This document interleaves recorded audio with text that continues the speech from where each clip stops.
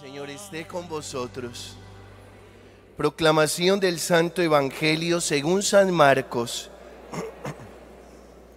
En cierta ocasión Jesús llamó a Pedro, a Santiago, a Juan, y los llevó a ellos solos a un monte alto, apartado, y se transfiguró delante de ellos.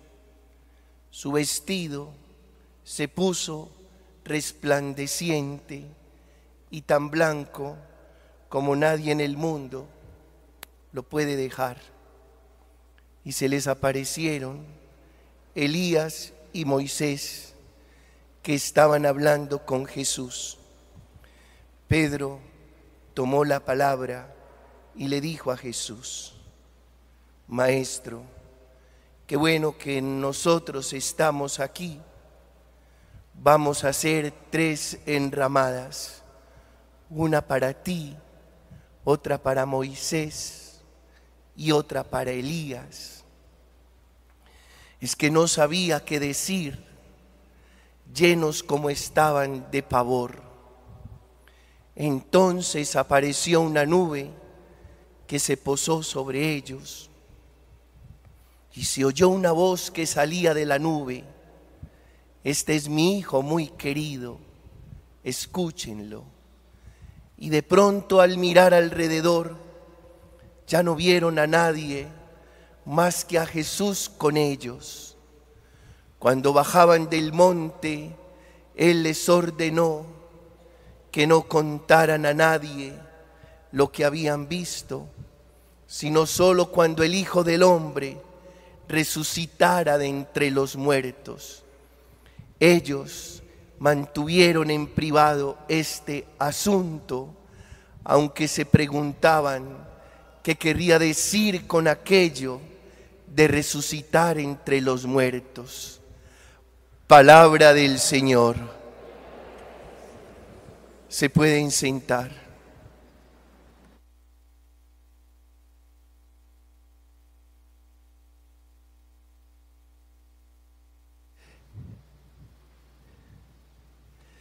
Yo y mi familia serviremos al Señor. Esto no se nos puede olvidar.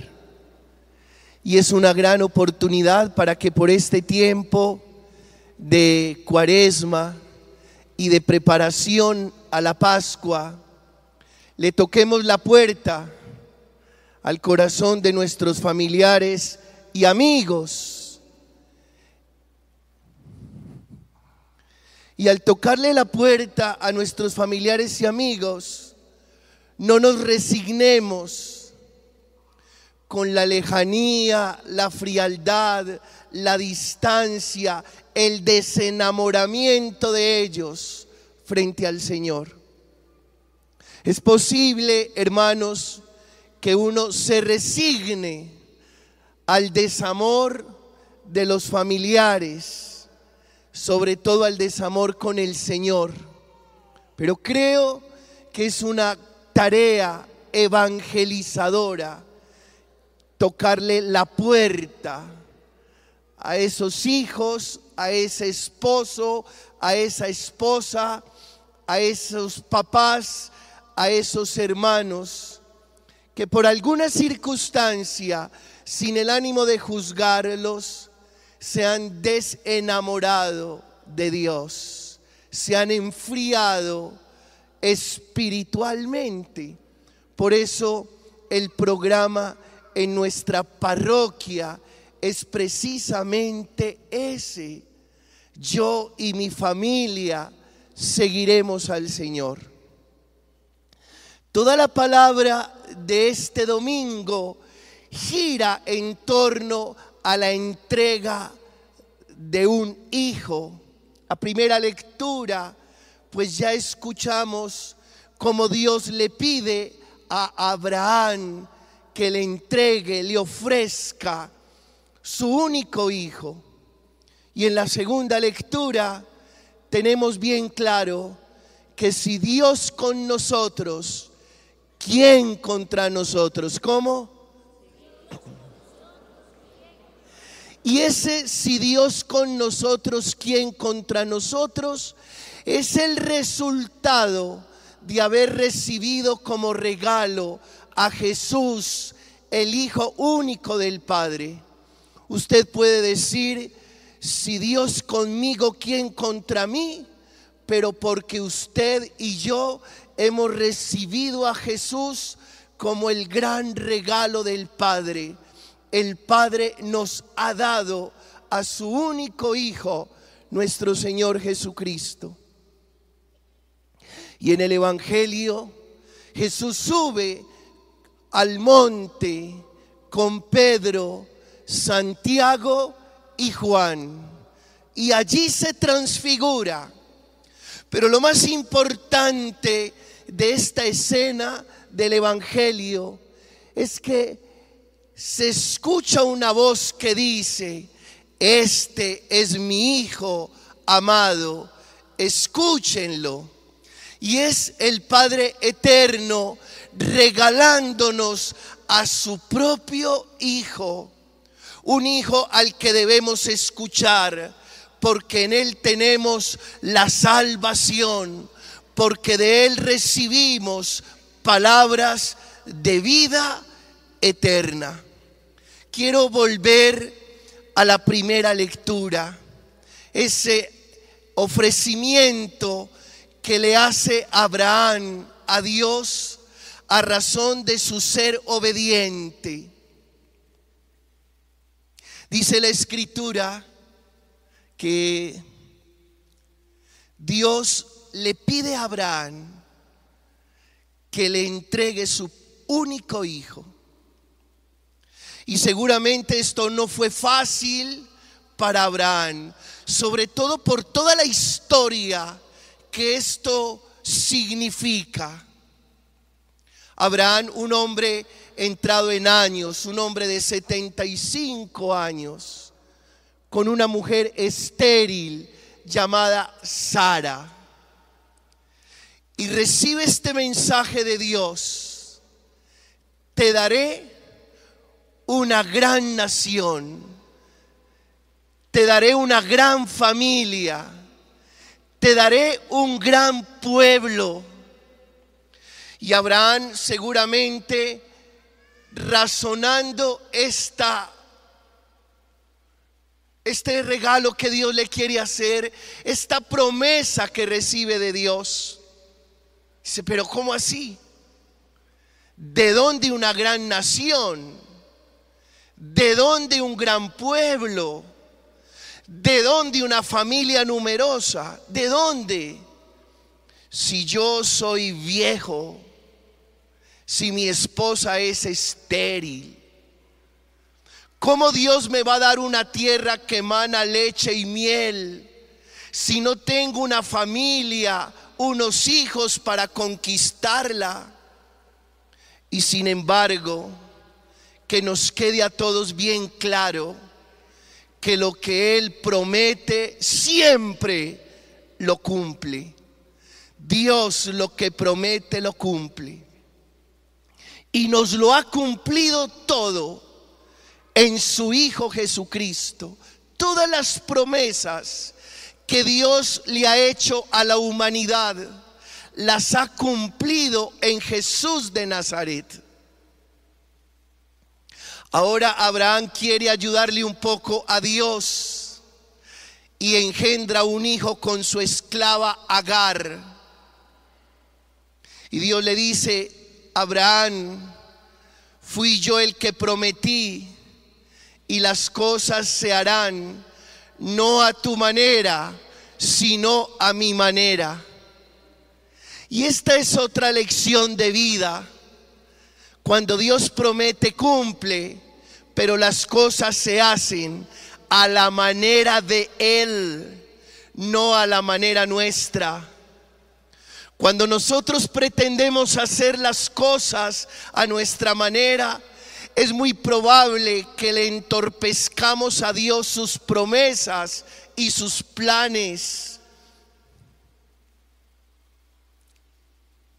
No es a tu manera es a la manera de Él. Cuando una persona me dice, Padre, yo no sé qué hacer, yo le respondo, no haga, deje que Dios haga a través de usted. Y de paso aprovecho para decirles, cuando ustedes no sepan qué hacer, no hagan. Dejen que Dios haga a través de ustedes, porque la obra de Dios es perfecta. Dios no se equivoca en su obrar. Con razón María no hizo. María dejó que Dios hiciera en ella. Y por eso su respuesta fue, hágase en mí según tu palabra. Ella dejó que Dios hiciera. Finalmente, Abraham engendra un hijo con la estéril, con Sara, engendra un hijo. Y ese niño se convierte en la garantía de la promesa. Por ese niño una gran familia, por esa familia un gran pueblo, por ese gran pueblo la conquista de una tierra que emana leche y miel. Y el niño crece y cuando tiene alrededor de 11 o 12 años, Abraham recibe otro mensaje. Y el mensaje es, entrégame, dóname a tu hijo. Y Abraham en obediencia se lleva al niño al monte, le carga la leña sobre sus hombros. Esto es figura de Jesucristo que va al monte con la cruz a cuestas y a punto de sacrificarlo, escucha nuevamente otro mensaje de Dios. No le hagas daño al niño que solo quería conocer hasta dónde podía llegar tu obediencia, hasta dónde podía llegar tu obediencia. Y ahí viene otro mensaje uno pudiera pensar que muchas cosas que ha recibido se convierten en el garante de lo que Dios ha prometido y tengan la absoluta certeza que lo que Dios promete no depende de nada ni de nadie, solo depende de Él. Porque seguramente Abraham llegó a pensar, la promesa depende de Isaac, pues la promesa no dependía de Isaac la promesa dependía, depende y dependerá siempre de Dios. El cumplimiento de las promesas solo dependen de Él, solo de Él. Y por eso en fe Abraham no tiene ningún reparo y lleva al niño al monte, así como Dios se lo había pedido para ofrecérselo a él finalmente no sucede. Y por supuesto no sucede porque Dios no quiere el sacrificio de humanos, porque solo Dios quiere tu obediencia y mi obediencia. Ahora bien, yo he querido llamar esta predicación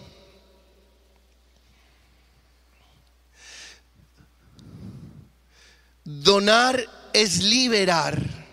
¿Cómo?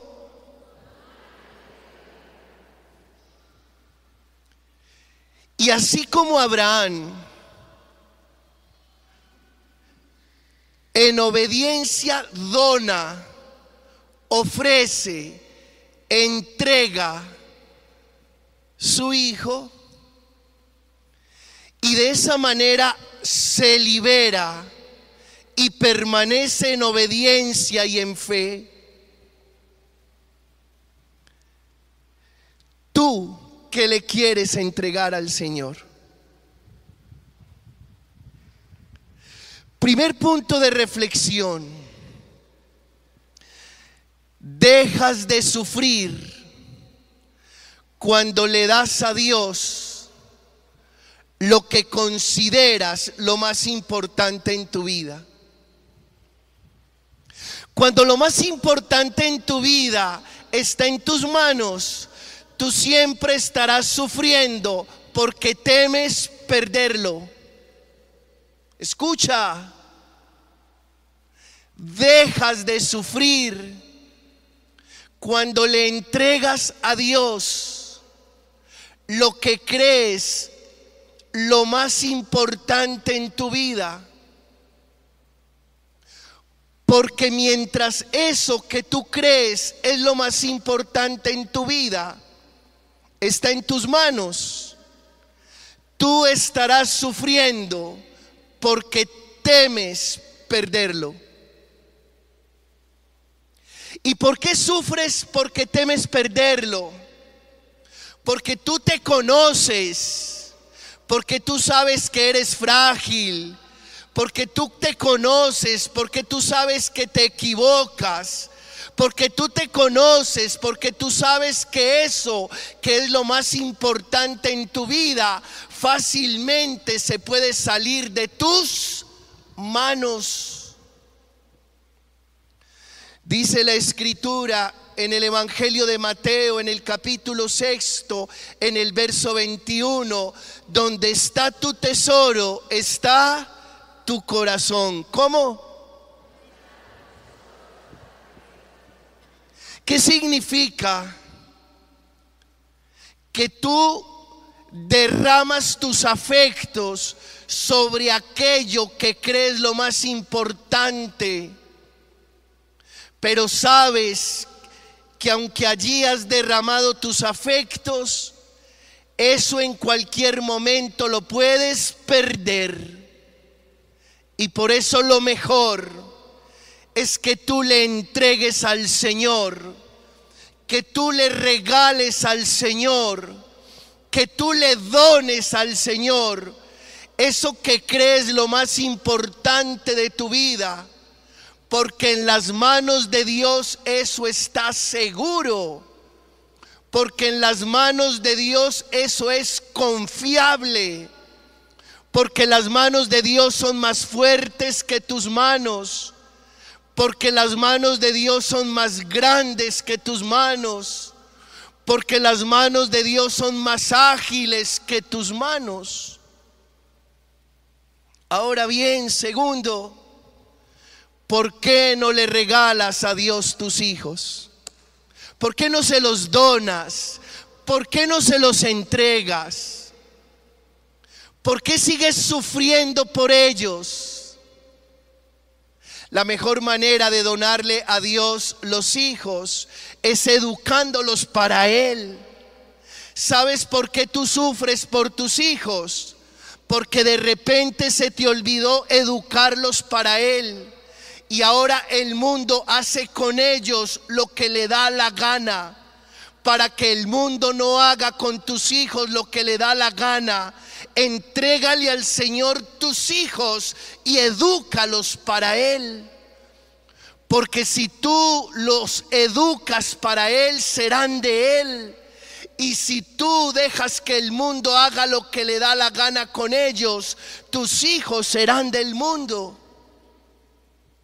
Por eso, y hago el llamado, si aquí hay algún padre de familia que se acaba de enterar que su hijo comenzó a usar drogas, no se resigne a eso.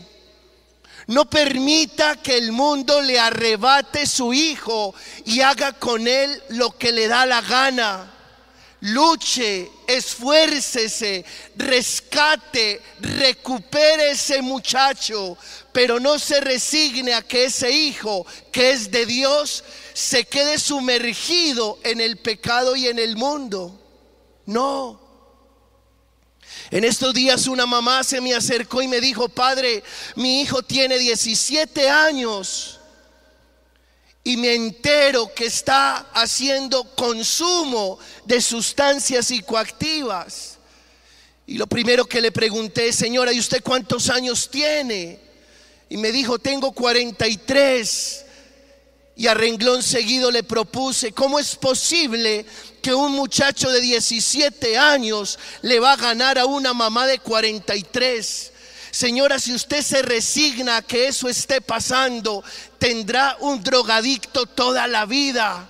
Este es el gran momento que usted se ha enterado y que su hijo apenas comienza a vivir esas malas experiencias para que se lo entregue a Dios y tome el control de su hijo y no deje que el mundo lo atrape y lo acabe. Entréguenle al Señor sus hijos, eduquen sus hijos para Dios, porque finalmente los hijos son de Él. Usted los ha recibido en administración. Y ojalá que cuando le pidan cuentas de sus hijos, esas cuentas sean favorables, no desfavorables. ¿Qué tal presentarle a Dios cuentas en saldo rojo de los hijos que son de Él? Tercero, Entréguele, dónele, regálele sus problemas a Dios. Dice la palabra del Señor. Pero ustedes no tendrán que intervenir en esta batalla simplemente, porque ustedes verán la salvación de Dios. Yo se los he enseñado muchas veces y hoy nuevamente lo hago. Diga después de mí, esta batalla no es mía. Esta batalla es del Señor. Todos estamos librando una batalla con nuestros problemas, todos. No hay ningún ser humano que no tenga problemas, todos tenemos problemas. Pero qué rico entregárselos al Señor. Y así como David a la hora de enfrentar al gigante dijo, esta batalla no es mía, esta batalla es del Señor.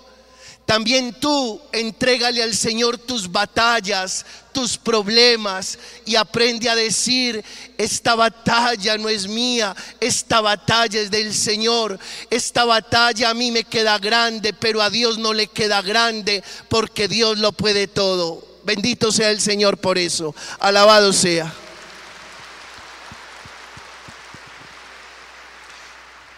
Cuarto, entréguenle al Señor sus decisiones. Ustedes saben, hermanos, que el destino se teje por las decisiones que vamos tomando. Por eso no hay decisión pequeña.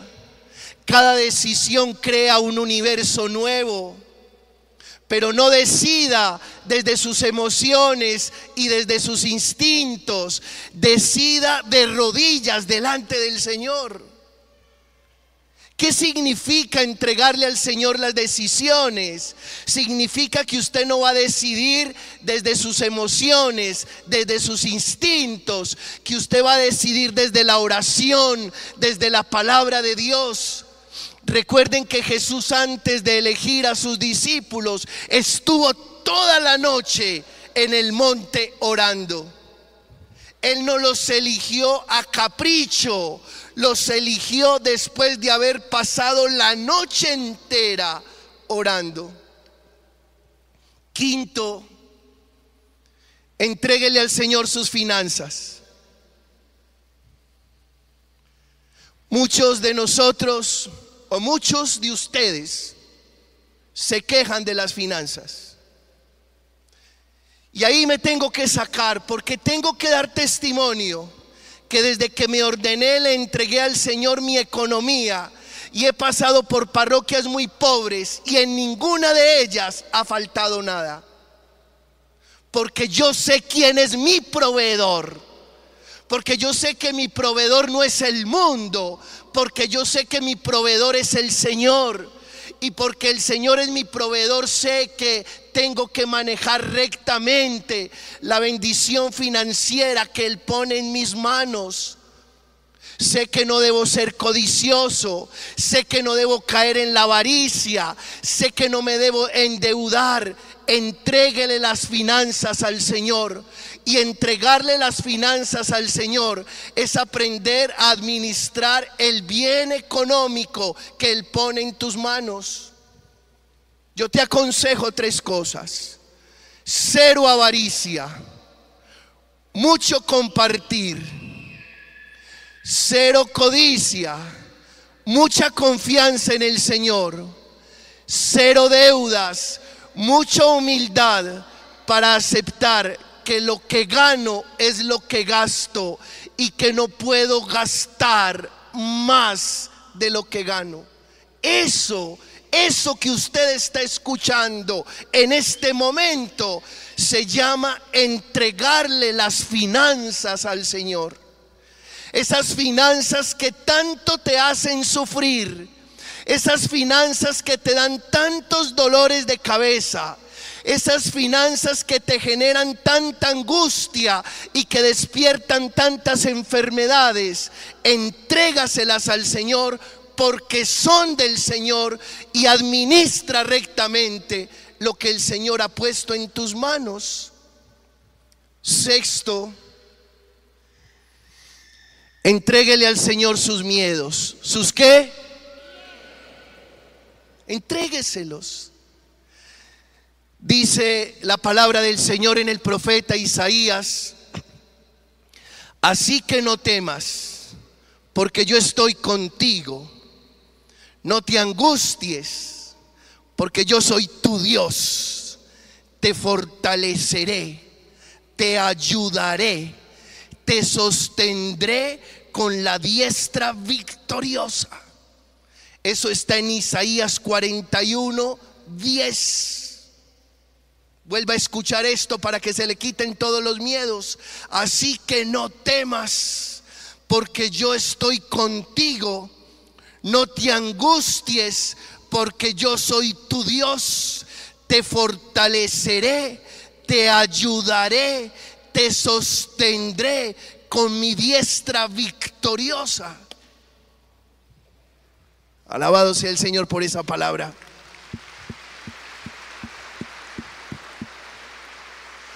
Uno escucha esa palabra y se le quitan todos los miedos. Dice, ¿cómo? Que mi Dios me está diciendo que no tenga miedo porque Él está conmigo, que no me angustie porque Él es mi Dios, que Él me fortalece y me ayuda, que Él me sostiene con su diestra victoriosa. Se me quitan todos los miedos. Y esa palabra que me permite entregarle al Señor todos mis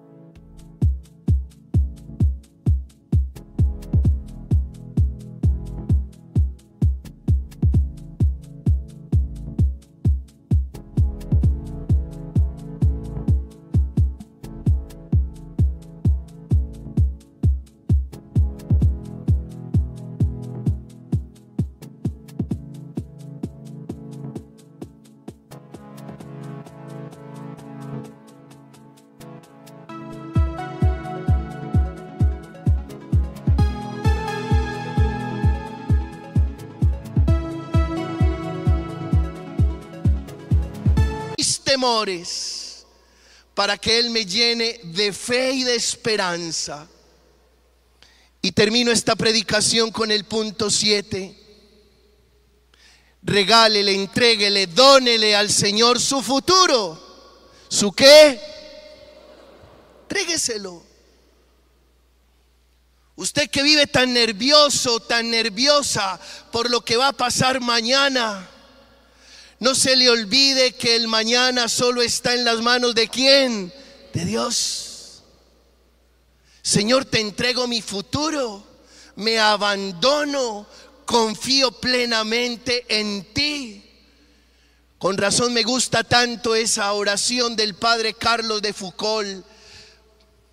Padre, me pongo en tus manos.